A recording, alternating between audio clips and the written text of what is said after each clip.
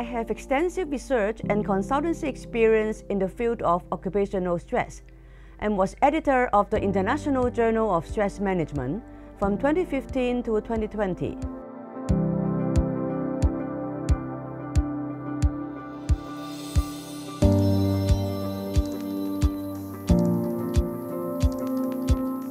Employees' workplace stress creates a significant burden for organizations through high absenteeism, lower productivity, higher turnover rates, and health benefit costs.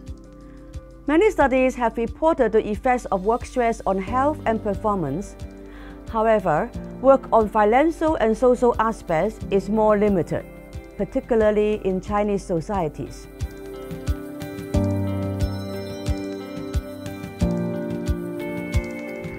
Government policy reports in overseas countries, particularly European countries, have investigated the social and economic cause of stress, but such research is relatively rare in mainland China.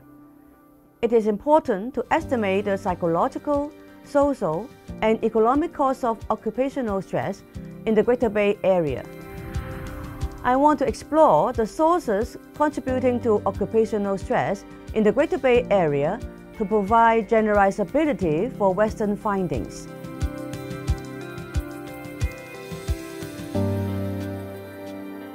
Most importantly, the results of our proposed study can be applied to other cities in mainland China in order to arouse public awareness and increase China's competitiveness by reducing occupational stress.